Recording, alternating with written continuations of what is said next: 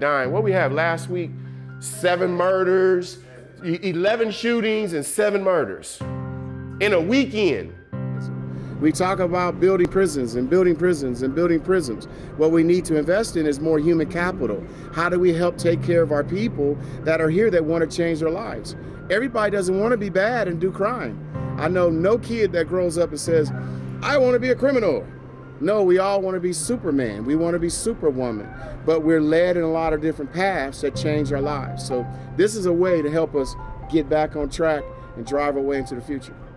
Well, here we are in the heart of Kansas City. We're, we're closer to the inner city than the suburbs. No, we is are that, in the inner city, Mike. We're in the inner city. Is this uh, is this by plan? It is. Uh, we could have put this school anywhere, but we had to put it where people can get to it by bus, taxi, car, train, whatever you need, you can get here. If we put it somewhere else, we wouldn't make it. So New Reflections has been around since 2011. We're actually only one of two black-owned trucking schools in the country. So we're very uh, powerful, I would think, in our presence in the community uh, to help our people grow and get CDL licenses to change their lives and have a sustainable career. This is a life-changing situation. This is something that's going to build us up and make our families come to a point where we don't have that struggle no more, where we don't have to sit back and wonder where that next meal is going to come from or if our bills is going to get paid. You know what I'm saying? So, Sorry, I just, brother. Yeah. I done had my issues here. I have, but every last one of y'all, they gave me encouragement and that perseverance to just tell me, boy, keep pushing, keep going. And I appreciate y'all for that because if it wasn't for that, ain't no telling oh, where I'd be standing at oh, right now. We didn't know we was gonna do all this, man. Come here, boy. Boy. You know, I've seen a need in our community to how to find sustainable jobs or sustainable lives. And what industry never stops, and that's trucks. Trucks never stop moving. The clothes we wear, the things we hygiene, things we use, everything eventually hits a truck. So I felt like it would be a great idea to help our community find jobs that they can uh, live and, and have sustainable lives. Basically, I'm from Pakistan, so I just moved here from since 20. 2021 in July. We ended up here because my husband, he thinks that this is more diversity in this school and they are welcoming to everybody, right? And no matter how many times you didn't clear the test, whatever it is, but they give you chance. So I think this institution is giving people the opportunity to be to sustain yourself, to sustain your family. So be a responsible citizen of this uh, country. Wardell, tell him to breathe. Tell him to breathe, he's tight in there. I understand that some of these people may have been either down on their luck or gotten in a little trouble with the law, and that a lot of the issues are not having opportunity. That's a huge part of the situation. Um, you know, one thing I always say is that everybody's done something, just everybody didn't get caught. And then some have ways to get out of things. But other people have real challenges and they need to have those barriers removed. Um, so it could be traffic situations, previously incarcerated, uh, on probation or parole.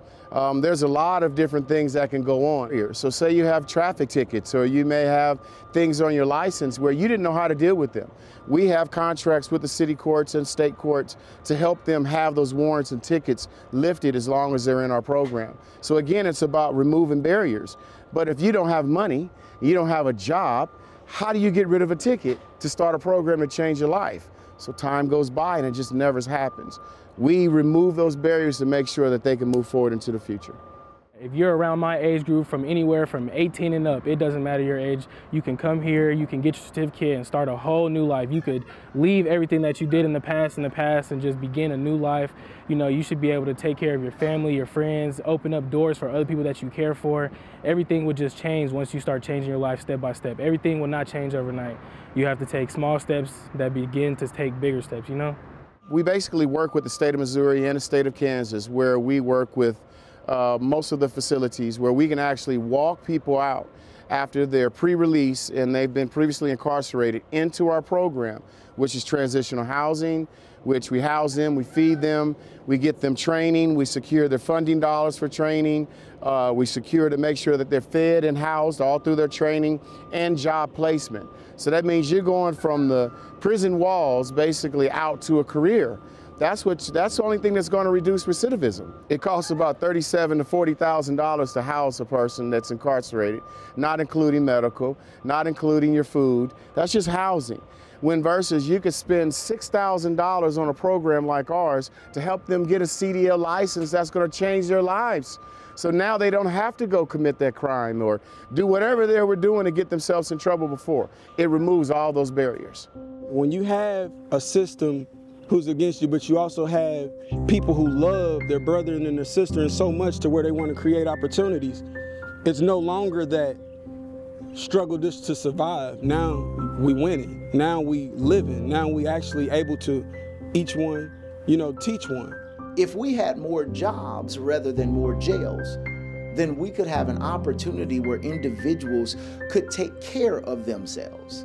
Jobs, not jails. We have enough, jails. We need more jobs. If we create more jobs and build our workforce development, then we can have less crime because people will be at home enjoying the amenities of life and not just committing crime. So, jobs, not jail is our slogan, and we stick to it it, it means a lot to us. Uh, if individuals could clear their record and have an expunged record so that they can have an 80% more of a chance, according to the data, to, to get a call back, to get a job, uh, then we can make our community safer. Uh, I like to say that we've created a non traditional workforce. You know, before we were looking at people based off of what they did or what their past or previously incarcerated. Instead of now, we're able to look at people for people. So our placement rate right now is at 96% because we're working with more corporations and more large, larger trucking companies that to encourage them to hire our graduates as they come out of school. Give them that chance. When others may not take advantage of the opportunity, these people and individuals will. So our, at 96%, we're, we're, we're giving a lot of people jobs. Over the years, we've placed over 1,400 students, made them graduates, and then now are employed. That's almost $70 million that has gone back into the economy. Real dollars, taxpaying dollars that are paying child support, buying houses, cars, a place to live, buying groceries. You know, they're doing things that they normally wouldn't be able to do before. So I love what we're doing here at New Reflections. New Reflections is a game changer here in our city with changing people's lives in a positive way, giving young men and young women hope and inspiration. We're not going to arrest our way out of this. And you know, our show is about sustainability, and I've always thought hearing about what you're doing is you're sustaining community. If we can't teach our people to fish, if we can't teach our people to take care of themselves, we're always going to be in this cycle a failure. We're going to keep building more jails. We're going to keep living in poverty. But if you could teach people, show them a way to have a sustainable life where they're now not making those bad decisions. They're not doing those same things they normally would do because they have something worth having. They have something they don't want to lose. Restoring hope and sustainability is a, a, a very good combination. Hope and sustainability to have a good life where you can take care of your family. Yeah, Mark Byrd here today, he's making lives change for everyone, no matter your ethnicity, your background, your troubles that you came from, no matter anything. As long as you come in here with the attitude that you can, he's gonna help you and push you to make sure that you will. He's gonna turn your can into a will. That's all he does. Like, it doesn't matter if you come in here with sad, teary eyes, or if you just got out of the prison yesterday, he's gonna make sure that you have a chance to change your life for the better. She is ready. So that is all yours. That is all yours. Tell me how you feel. Tell I me how you feeling. Amazing. what are you gonna do with it? I'm gonna eat today. I'm gonna eat today. like three days. She's gonna eat today.